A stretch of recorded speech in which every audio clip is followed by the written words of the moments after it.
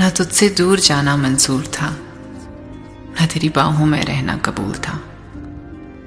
ये दिल भी अब समझ चुका था, मैं तेरी भूल थी, तू मेरी भूल